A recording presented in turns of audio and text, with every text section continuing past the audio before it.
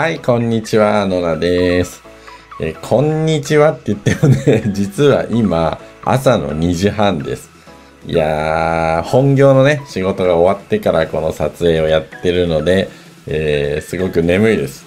だけども、北進がね、近づいてきちゃったからね、みんなのために頑張ってスライド作りました。で、今回もね、直前予想兼ねて、えー勉強もね、ちゃんとできるようにしたいと思います。だからごめんね、動画がね、長くなっちゃうかもしれないんだけど、その分見てくれたら、ちゃんと勉強になるようにね、作ったと思いますので、頑張ってみてください。じゃあ、いくよ。はい、それでですね、今回も歴史のね、項目を全部150項目以上に分けてね、えー過去の出題とかを分析してみました。で、今回はね、さらにね、分析力をアップさせるために、公立高校、埼玉県のね、公立高校で出てる範囲とかと照合して、北進ってどういう関係になってんのかなっていうことも加味してみました。こんな感じでね。そしたらね、あることに気づいたんです。はい。ちょっとね、さっきの Excel のね、図の一部分を拡大してみたんですけど、黒く塗ってあるところが、過去のね、公立で6年間ずっと出てない分野なのね。6年連続出てないってすごいよね。みんなが何年生？小4ぐらいからずっと出てないって形だよ。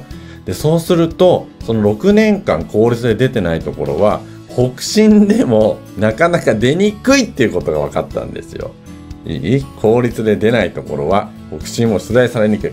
つまり北進っていう会社もちゃんと埼玉県の、えー歴史ね社会何が出るか分析しててある意味そのね入試に出やすいところ出にくいところっていうのをちゃんと把握してみんなの北進テストを作ってるっていうことなんですね。だから埼玉県の公立の出題されてるとこされてないところを分析していくと結構わかりやすい北進に何が出るか分かりやすいってことなんですよ。いやー、これはね、法律のことも調べないといけないからね、この本当にね、大変だったんだけど、社員の人も手伝ってくれて調べてくれました。例えば見て、兵士の滅亡とか、ね、守護自党の設置とかね、これ6年間出てない。そうするとね、北進でもずっと出てないんですよ。ね。で、逆に、このね、封建制度とか、執権政治とか、元とかね、そういうのは法律で出てるのね。そうすると、今年の北進でも出てるってことがわかりますね。で、鎌倉幕府は公立出てるのに、まだ北進出てないから、ちょっと見といた方がいいかな。ただね、5回と6回、北進の第5回と第6回で出てるので、えーその近辺はね、ちょっと出しにくいかなとも思って、鎌倉幕府は絶対出るかって言われると、出ない可能性が高いかな。で、逆にほら、元寇とか鎌倉幕府の衰退とかね、滅亡とか、ここはね、埼玉県で出てないから北進でも出にくいってことがわかります。で、そういうことが分かったから、じゃあ今回のね、この直前予想、みんなの役に立てるようにするにはどうしたらいいかなってね、必死に考えました。どういう形式がいいかなって。ということで、前回の私の動画、ね、歴史、あれも一生懸命作ったんだけど、あれに加えて、今回で北進でまだ出てないところ、つまり次出やすいところっていうのを付け加えることにしました。だからね、前回の動画もたくさん入れてます。もちろんね、もう絶対出ちゃったよっていうところは外してるんだけど、それに加えて今回のもあるから、だからね、ちょっと時間が長くなっちゃうんだけども、まあ40分なら40分、50分なら50分しっかり見てもらえれば、みんなのね、役に立てるようにしてるから、俺も頑張ったからみんなもね、頑張ってください。一緒に北進を倒しに行くよ。ちょっと余談なんだけど、そこに出てる絵、この下だね。すごい可愛くない？これね、山内さんって人が描いてくれたのね。結構山内さんのね、いただいたイラストを使ってるんだけど、なんか癒されるよね。こう勉強ってさ、ぐーってこうね、しかめっ面してつまんなそうにやってたら効果が出るかっていうと、むしろ逆なんだよね。だからなんか塾とか教えるってなると堅苦しくね、こうネクタイした人がガンガンやるってイメージあるかもしれないけど、そっちの方が成績伸びるならそうするけど、そうじゃないって俺は思うんだよね。こうね、心もリラックスさせて学ぶっていうのは本当はね、楽しいことですね。学ぶっていうのは人間の欲求の一つだからね。だからみんなね、テストいっぱいされて大変かもしれないけど、どうせやらなくちゃいけないんだからね、こう楽しく、プラスに考えてね、えー和やかな雰囲気でやっていきたいなと思います。だから俺もね、なるべくこういう形でね、えー優しく話しかけてられたらいいなと思ってやってます。はい、じゃあやろうね。で、今回のね、テスト範囲一応確認しておくけど、テスト範囲はね、歴史全範囲プラス公民がね、人権までです。入るって書いてありました。だから今回ね、最後のスライダー公民をちょっと付け足してあります。あとはね、一番最後まで見てくれると、おまけプリントね、おまけ予想の情報もあるので、ぜひ見てください。はい。今回ね、付け足してるパネルには、こうやってね、一問一答。理科見てくれた理科みたいな感じでね、一問一答でみんなもね、勉強しながら見れるようにしてます。で、まずね、一番最初はこのね、大和政権です。時代わかりますか？時代。時代はね、弥生時代と、それからこのね、飛鳥時代のね、ちょうど間の、えー、古墳時代です。古墳時代ね。まあ年号で言うとだいたい4世紀から6世紀ぐらいです。3世紀にほら、あの有名なね、邪馬台国、卑弥呼のお話があるのね。で、その次の年代だね。で、大和政権は、えー、どうなってるかっていうと、まず大王中心のね、豪族勢力で、近畿地方に大王がいたのね。で、ここはね、やっぱりお墓。偉い人ほど大きいお墓なんだけど、有名なのはね、この一番の古墳文化の、なんていうお墓？これです。前方後円墳ってやつでね。これ前方後円墳って漢字で書いてあるから、円の方が鍵穴みたいになってるでしょ。円の方が後ろだからね。なんか円の方が上に見えるけど、えー、後ろのお墓。だからこっち手前が前なんだね。えー、面白いね。こういうお墓です。だからね、大王っていうかね、天皇とかこういうでかい、123メートルぐらいのね、大きさです。で、蘇我氏とかはそれに次ぐ大きさだから116メートルとか、ちょっとね、天皇より小さい大きさになってます。はい。それからね、ここの時代で大事なトライ人だね。出るかもしんないね、テストね。で、トライ人っていうのはもう弥生時代から来てたんだけど、えー、日本に伝えたものいっぱいあります。まあ一番はね、この稲作かな。お米の作り方ね。はい。それから金属器。ね。これ、銅鐸とかいろいろあったでしょ？青銅器とかね。こういうのも教えてくれました。あの、家庭教師のトライと思ってください。ね。トライ人が来ました。はい。そして漢字も教えてくれました。で、あとはね、やっぱり何て言っても仏教だよね。仏教はね、何年っての覚えておいた方がいいよ。538年です。ゴミはいらないよ。他のこと教えてねって。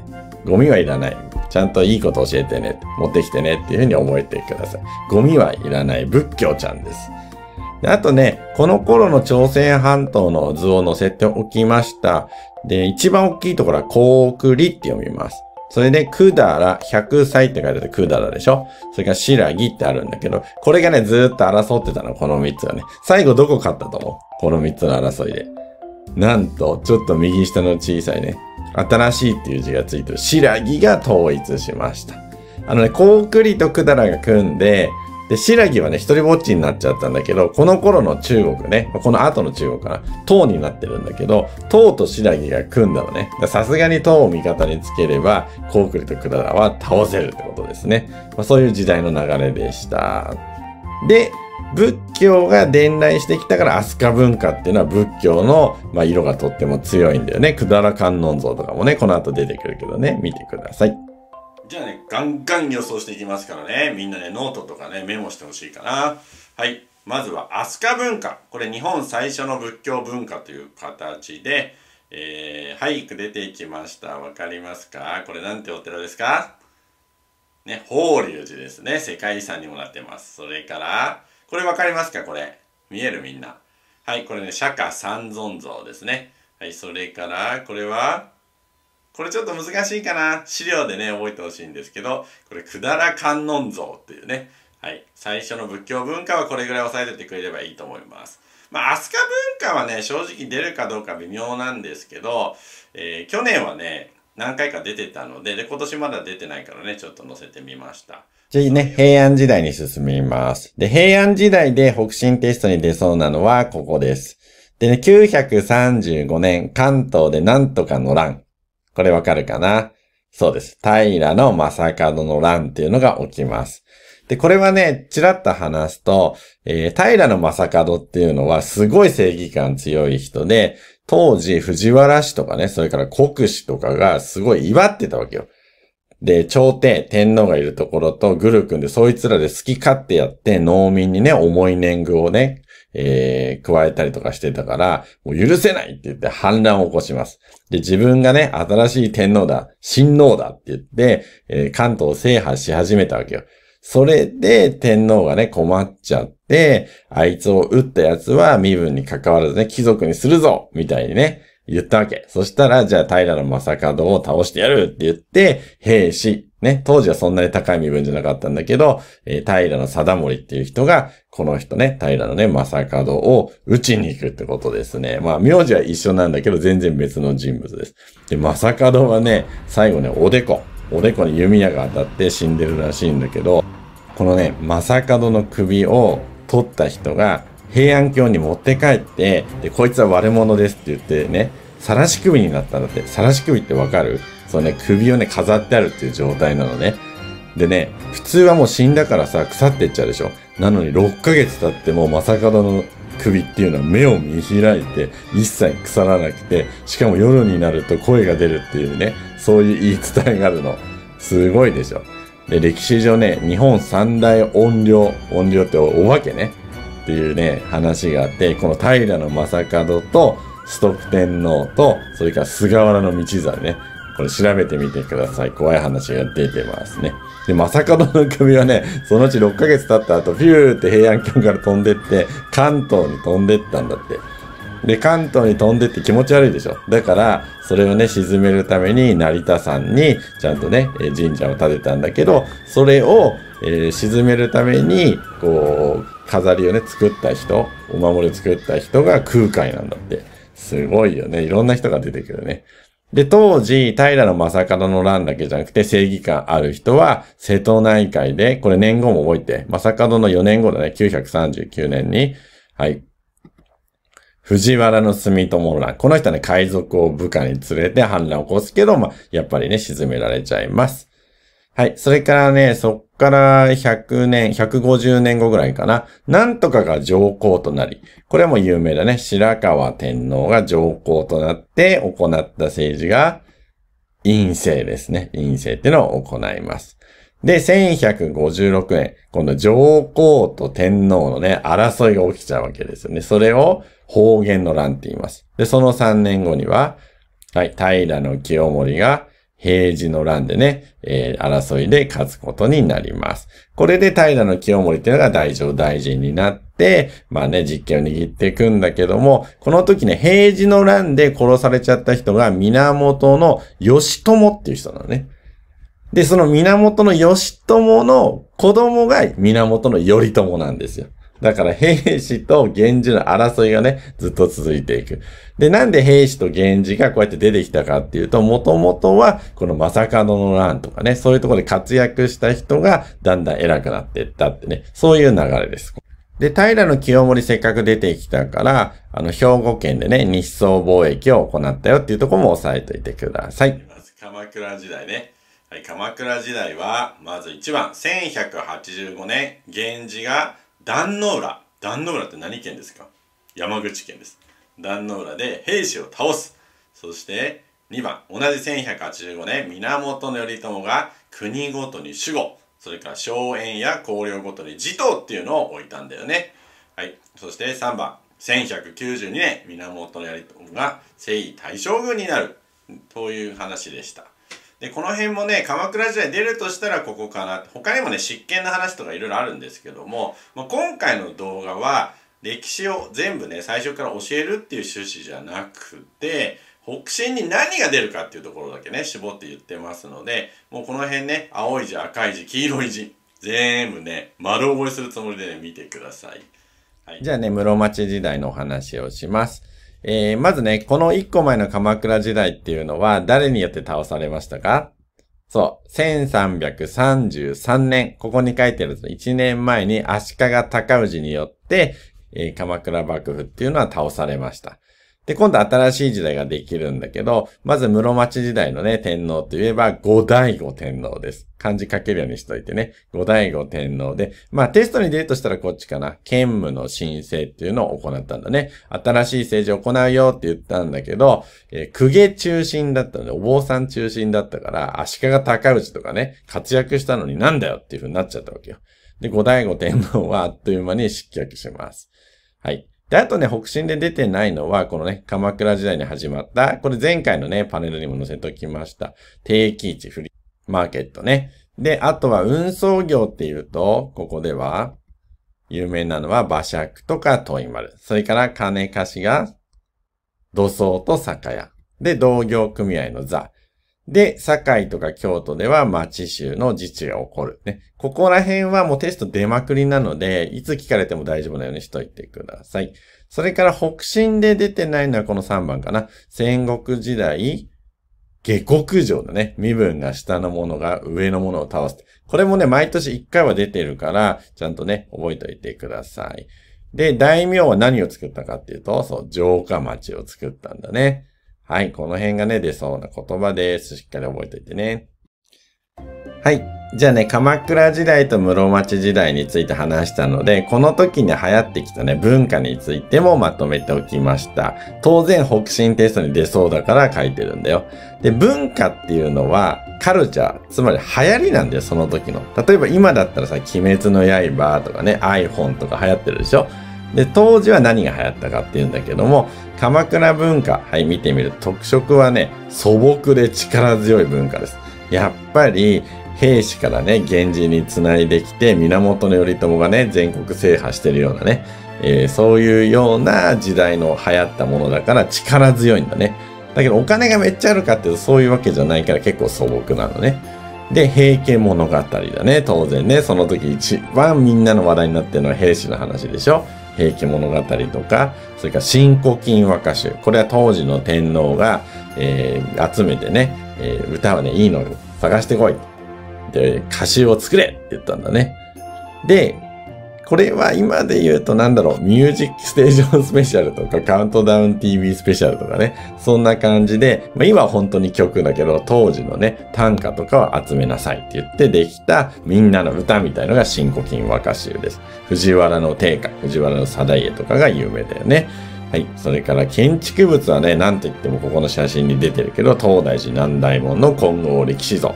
で、作ったのは誰？作ったのは、運慶と海慶さんです。で、この K っていうのはグループの名前なのね。何々組とか何々グループっていう意味なので、まあ、経営派っていう人たちなのね。こういうふうにいろんなものを彫ったり彫刻する人だね。だから、運慶さんと海慶さんって別に家族とか兄弟じゃないみたいです。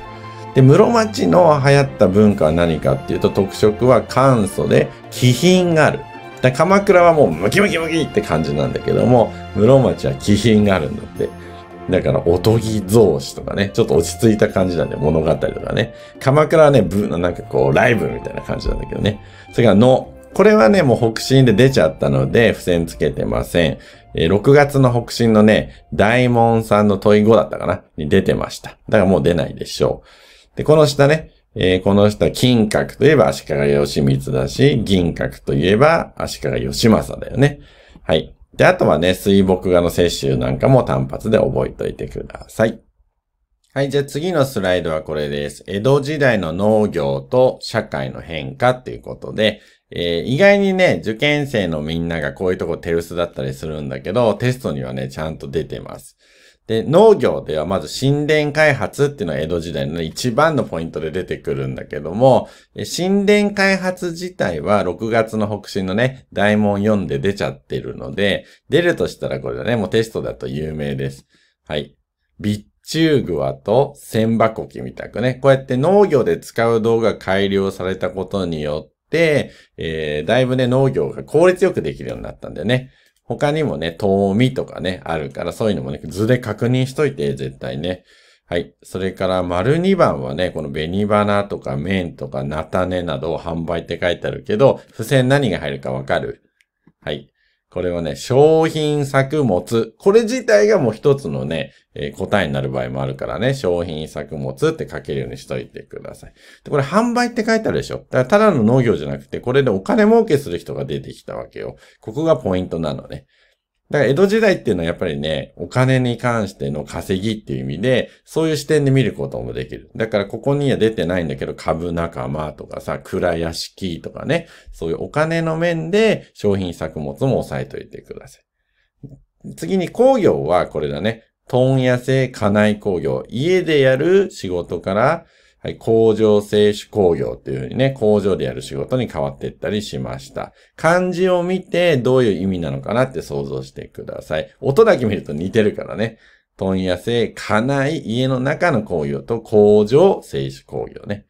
はい。それから、怒りって書いてあるけど、百姓はね、はい。これね、百姓一揆をこの辺は起こすわけですよ。で、都市では貧しい人たちが打ち壊しを起こします。ここもね、ちゃんと区別つくようにしといてね、どっち書けばいいかわかんなくなっちゃうからね。はい。はい。次、江戸時代でテストに出そうなのはこちらです。元禄文化と火星文化。で、元禄文化と火星文化については、はい、これです。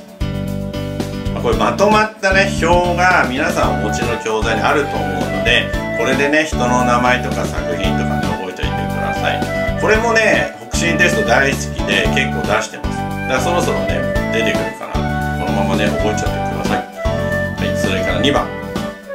儒学の中でも朱子学がバズる、バズるっていう言い方がもう YouTube 意識してる感じがしますけど、朱子学ね、まあお年寄りを大切にしようって考えですけども、えー、それが流行ったんだね。はい、そして3番。ここで出てくるのがね、頭いいおっさんシリーズなんだ頭いいおっさんシリーズってみんな聞いたことあるよ。どんどんいくよ。はい、じゃあ国学はっていうと、元織宣長っていう人の古事記伝。それから、蘭学、オランダとかのね、勉強。杉田玄白の人ね、えー、解体新書っていうのを作りました。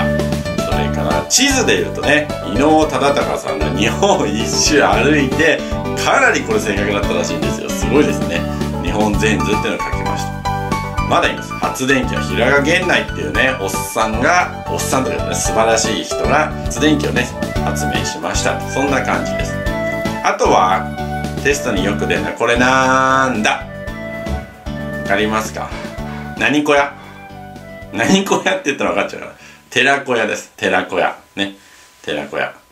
これまあ塾みたいなもんだよね。これでね、一生懸命ね、勉強してました。この辺がテスト出るかな。さあ、いよいよ明治時代に入っていきます。で、明治時代はもうね、いっぱい覚えることあるけど、まずね、このね、五箇条の五正門、それから版石奉還、それから廃藩置県。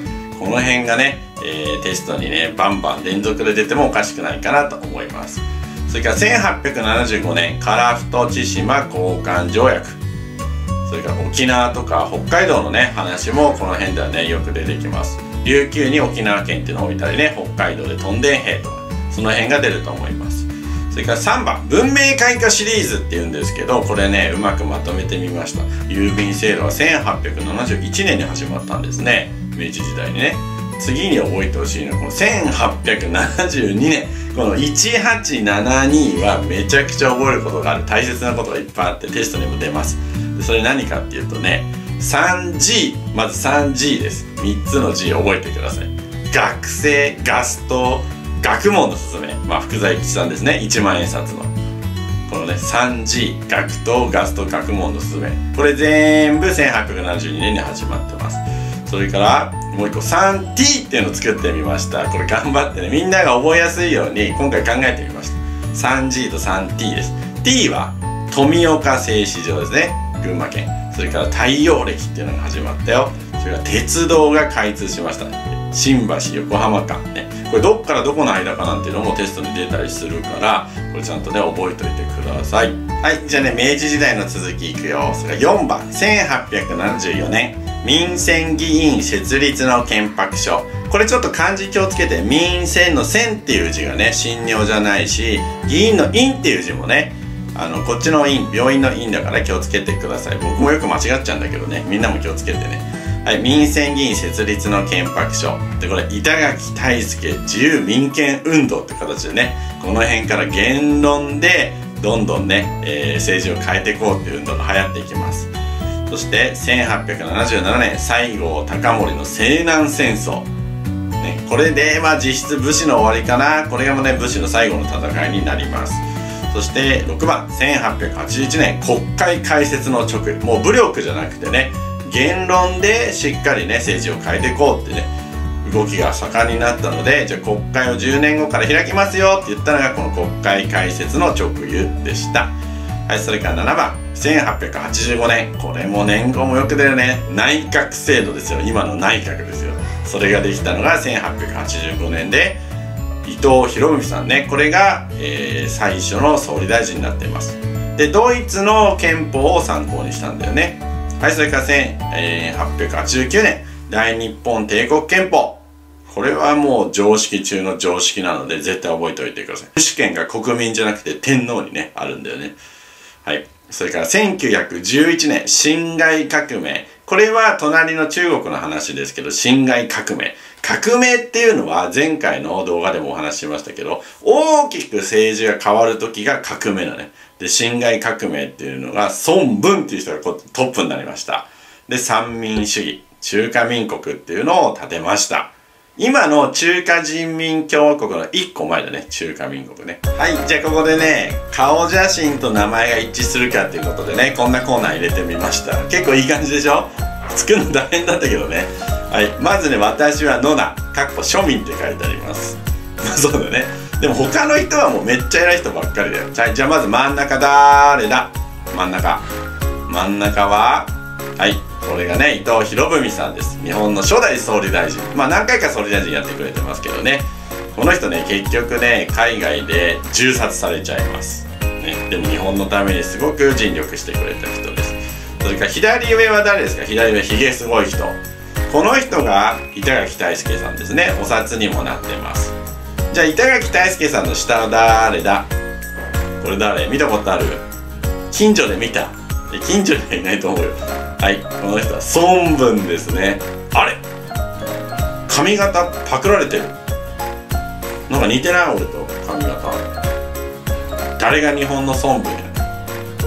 一人で何やってんだ俺はいで次一番右がはいこの人は西郷隆盛さんですね。西南戦争。薩長同盟の時もね活躍しました。まあみんなね登場人物はいろいろね資料集とかにも載ってると思うので顔写真見て名前と一致するようにしてあげてください。じゃあ大正時代いきます。ここからもね細かく覚えてってよみんなね。はい1番。1915年日本が中国に21か条の要求っていうのを出しました。ね山東省の権益を権益って分かる権利とか利益とかをドイツからねよこせとかねそれから領順とか大連これをね使わせろちょっと貸してちょっと貸してって言ってもやばいよ。どれぐらい貸してだと普通みんなさ例えばちょっと漫画貸してって言ったらどれぐらいですか？まあ長くても1ヶ月とかでしょ。でも今回日本が要求したのはこの2つを99年貸してって。99年貸してもらうの延長って。どんだけやねんってもう返す気ないじゃん。ってねそれから南満州鉄道の利益とかも日本のものにしましょうってね。させろって21個も要求したんだって。ダメだねそういうことしてちゃう。それから2番1917年ロシアでは出た革命が起きましたよ。レーニンっていう人がボスでね。世界で初めての社会主義共和国ができました。そしてロシアも名前変わっちゃったからね。ソビエト社会主義共和国連邦。ソビエト社会主義共和国連邦っていうふうに変わりました。ねおなんか青くなってきたよ。なんだ？はい1919年この年号も覚えることいっぱいあります。でも世界平和のためにいろいろ起きた、えー、僕的にはかなりねいい年だなと思ってます。ね、ベルサイユ条約それからパリ講和会議これ第一次世界大戦を終わらせるための会議と条約ですね。ベルサイユはどこ？そうフランスだよね。それから朝鮮では3.1独立運動3月1日で中国では5月4日に五四運動が起きました。でドイツのワイマール憲法とかね、えー、こういう世界平和に向かって大きく世界が動いた年です。覚えてあげてください。1919です。はい、それから4番。1920年には国際連盟ね。連合じゃない。今あるのは連合だけど国際連盟っていうのがスイスのジュネーブに本校を置いてねウィルソン大統領のね、えー、提案でできました。でもねアメリカが入ってないんだよね。自分で言ったのにやらないんかいって。どっかの部活の顧問みたいなね、はい、そういうことが起きました。で続いては今度ね昭和時代に入ります昭和時代ははい、1929年、この年号も覚えてください。世界恐慌が起きます。ニューディール政策ね。アメリカのニューディール政策。あ、政策じゃない、政策。公共事業とかを増やしていくやつだねそれからイギリスとかフランスはブロック経済もう自分たちとか自分のね支配してる国としか、えー、貿易しませんよそしたら他の国のさ影響を受けなくて済むで最悪なのはこのファシズムだよね。ファシズムっていうのは日本とかイタリアとかドイツとかね。自分の国が貧しければ他の国から奪ってやろうみたいなね。もう最悪な考えです。でソ連は5カ年計画っていうのやってたし社会主義だからあんま関係なかった。こういうふうに世界恐慌世界が不況になった時にそれぞれの国がやったことがここの話です、それから2番1939年に第二次世界大戦が起きる。そして3番1940年に日独伊三国同盟。さっきのサンバカトリオですよ。サンバカトリオとか言い過ぎかな。でもねこの時のこの3つの国はバカだと思う。人のことたくさん殺すし人のものを奪うしとっても良くないね。今じゃないよ。この頃ね。はい。それから4番1945年ついにねポツダム宣言っていうのを受けます。でこれで日本は降伏するわけですよねで国際連合ができるわけですけどもポツダム宣言のね、えー、様子これ日本がポツダム宣言これねアメリカの船の上でえー、署名してるんだけども、この署名してる日本人の人は、えー、この人です。まあね、あの、中学の歴史だとあまり出てこないかもしれませんけど、重光守さんっていう人でね、もうこの時代日本がとっても悪いことしちゃったでしょ。で、その日本をなんとかいい方向に持っていこうと思ってね、すごく活躍してくれた人です。重光守さんね、覚えてあげてください。だってポツダム宣言に署名してるぐらいだからすごい人でしょ。ね。で、ポツダムっていうのはどっかの国の都市の名前なんですけど、わかりますか？地域の名前。それドイツです。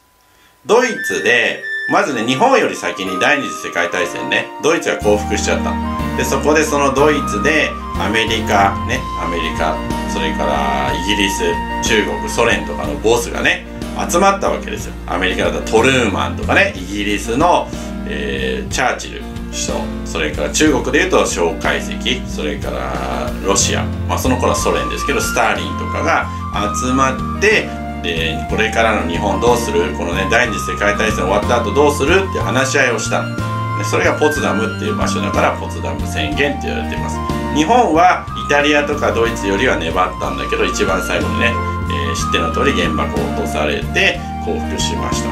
で国際連盟はあんまり役に立たなかったから国際連合これは今もあるねっていうのが、えー、活躍できるようにしたんだね。はいそして5番。1950年朝鮮戦争ですよ。で日本はね朝鮮戦争のおかげで武器をね輸出したりできたので特需景気って言ってちょっと景気が良くなったりしました。でその後ね自衛隊っていうのが1954年これをきっかけにできたりしました。はい、それから昭和時代の続き1951年サンフランシスコ平和条約。それから日米安全保障条約、ね、この辺もねもう知ってて当たり前ぐらいの世界です。はいここで署名してるのは誰ですか？ここで署名してるのはね署名した吉田茂さんっていう人です。はいそれから7番1956年日ソ共同宣言ソ連とね仲直りします。この頃からもね北方領土のことかなり揉めてます。で一応にソ連と、まあ、仲良くしようというね宣言ができたので国際連合に日本はここから加盟することができました。はいそれから8番1965年に日韓基本条約。今度は韓国と仲良くしようって話だね。で1972年には日中共同声明で中国とも仲良くできるようになりました。田中角栄っていうね総理大臣が結んでくれました。で1973年はこれも単発でねテスト出ます。オイルショックですね。そして11番1978年には日中平和友好条約。これも田中角栄ですね、えー、中国と仲良くしたっていうねそういう話でした。でここでですねおまけおまけって言ってもテストには出るからだとっても大事な項なんですけど、えー、佐藤栄作元総理がすごすぎるっていうことでねまとめてみました。佐藤栄作さん知ってますか？この人です。この人ねすごいよ実績。さっき出てきた日韓基本条約1965年に結びました。そして比較三原則。これも有名だね。核を持たず作らず持ち込ませずっていうのを正式に宣言した人もこの人です。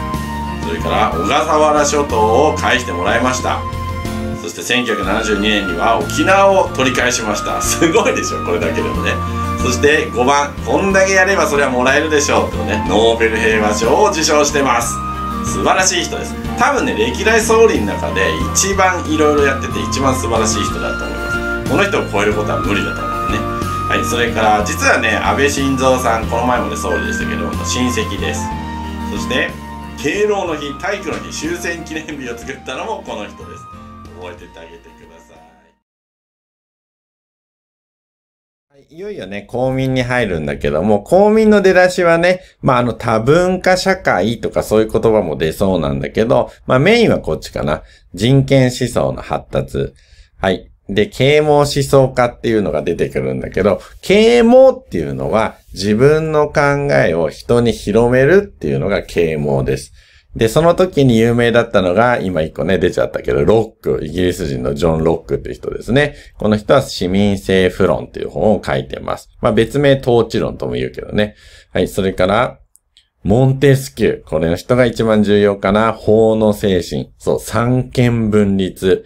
ね、一人の人に全部の権力を握らせてると、絶対王政みたいになっちゃうから、司法とかね、行政とかね、それから立法、その三つに権力を分けたんだよね。法律を作る人と行う人と裁く人ね。それに分けようって言って考えたのがモンテスキューって人です。はい。それからもう一人はルソー、社会契約論ね。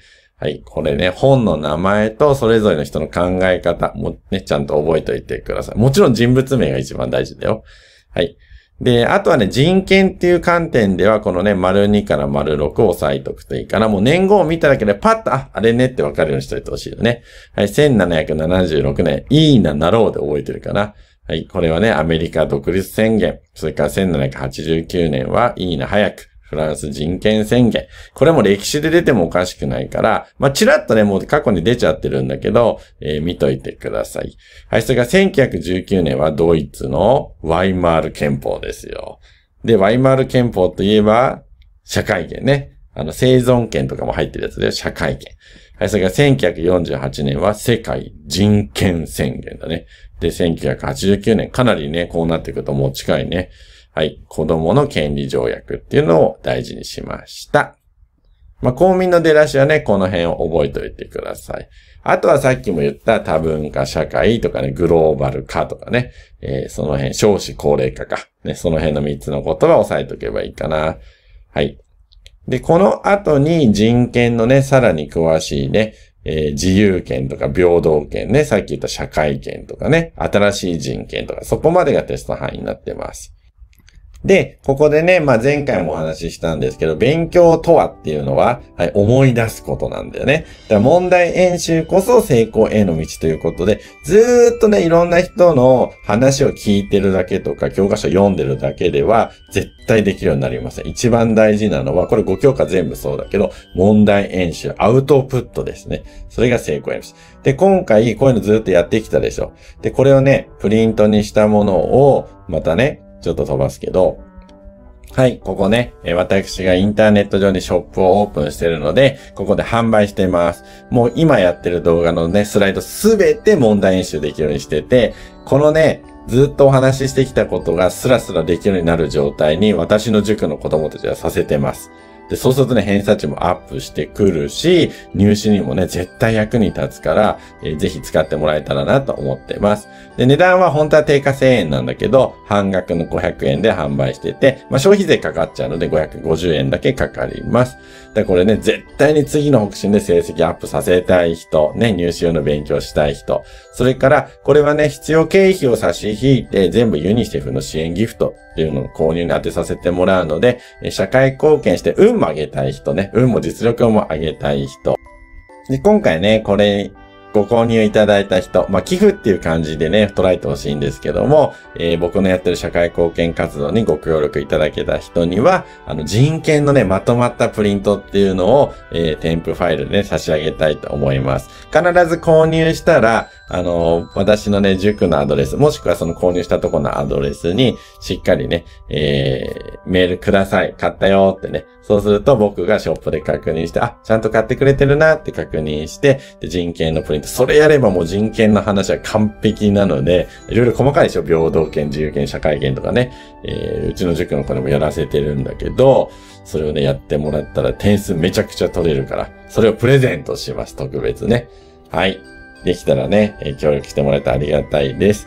まあ、だんだん寒くなってきました。みんなね、え、体調気をつけて頑張ってください。受験までね、あと少しです。気を緩まずにね、一緒に頑張っていこうね。あ埼玉県のね、公立予想、理科と社会絶対出すから、もうそこは全力を尽くしてね、やるので動画楽しみにしててね。